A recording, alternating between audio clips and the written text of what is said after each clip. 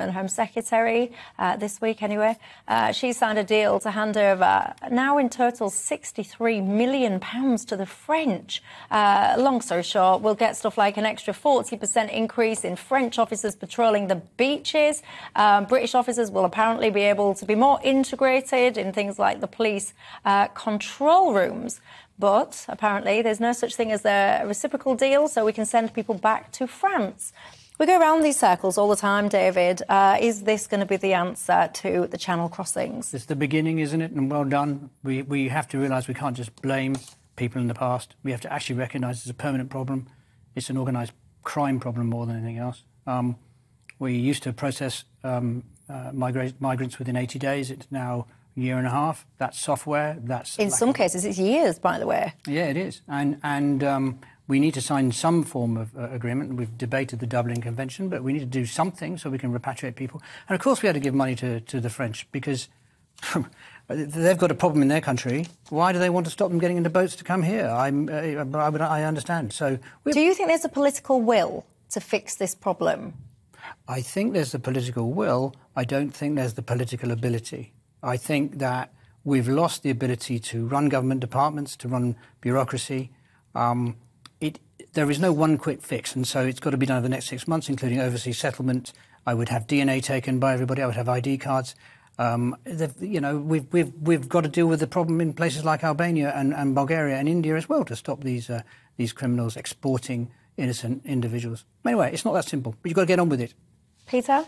Well, I'm very much in favour of the deal with the French. I've been urging this for some time, and I think we should make, and I suspect the government plans to do this, make a much bigger and more wide-ranging deal with the French in time. What, you mean more money? More money, yes, and, and, and more cooperation, uh, more, more, more direct presence of, of British officers on the French side.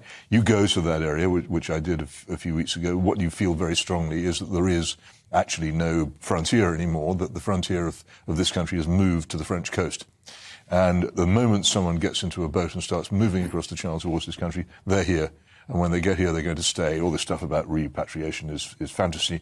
Rwanda is fantasy. You won't get rid of them once they're here. The only way to do it is to stop them leaving France. The only people who will do this are the French. There are a lot of conservatives in this country who have a silly, uh, a silly looking down on view of the French. I, I don't have that. I think France is a serious country, but it's got its own pride.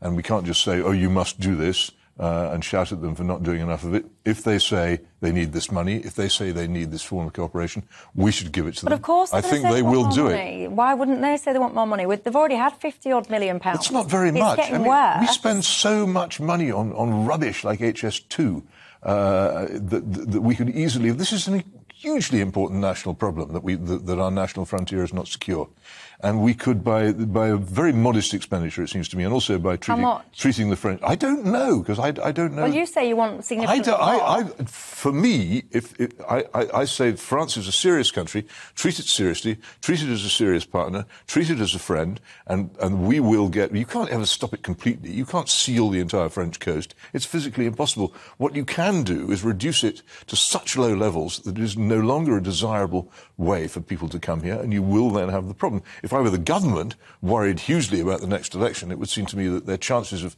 of doing any, uh, of having any success at all at that next election depend on them solving this problem. If that involves them giving money to the French, then fine. But for me, it's a matter of, of, of how the country fares. I do not think our southern coasts should be undefended from illegal migration. And I think it's time we did something about it. And I've looked at this over and over again. The only thing which works is if the French stop it. Nothing else will work.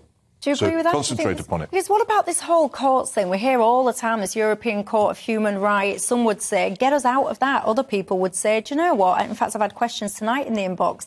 Uh, they're saying, look, why don't you just ignore those courts, take planes to Rwanda, just get on with that? Take planes to Rwanda would cost a lot more than 60 million, and it's unworkable. That's a fantasy. Um, and um, what we have to do is realise it's not a short-term problem. One thing I would like to see is the building of settlement centres. And uh, my parents, when they when they came over from uh, Germany, were in internment camps in, in, the Isle of Man and were treated very well. My mother was in it for a while. And um, we need something. If we're going to have this wave of immigration, we have to strengthen our borders. We have to deal with the criminals that are, that are exploiting. We have to do our data. We have to build the software. Um, we have to do all of this, all of this, and then maybe we can get immigration or or migrants uh, of this type down to sort of a handleable five or 10,000. But we used to be able to send 30 to 50,000 people back a year. It's not the Court of Human Rights. It's not an act. It's simply if we haven't signed an agreement to repatriate people humanely, right, to Well, it's reasonable not inhumane countries. to put people on a plane, is it? That's not inhumane. To, to Rwanda? Yeah. Uh, Rwanda's fine for sponsoring Arsenal, but not to send back people who might include legitimate uh, asylum seekers or economic migrants. It will cost a fortune.